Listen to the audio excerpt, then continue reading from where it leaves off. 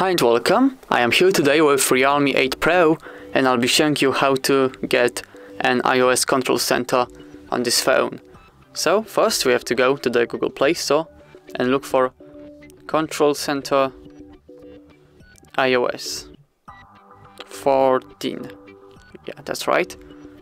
Now install the first application on the list. Wait for a while um, let me adjust the volume because there are going to be a few advertisements in this um, application. Okay, now open.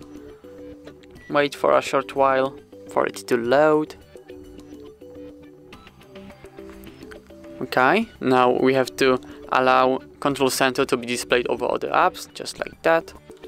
Now we can go back, swipe all the way to the right, tap on this button in the bottom right corner, skip this advertisement. And now if we did everything correctly, by moving our finger from the right side to the left, we should be able to open up the iOS control center. Oh, uh, we have to give another permission, allow to modify system settings.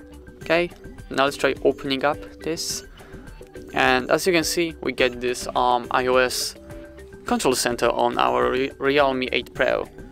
And that's everything for this video. Thank you so much for watching. Please leave a like on this video and subscribe to our YouTube channel for more videos like this. Goodbye.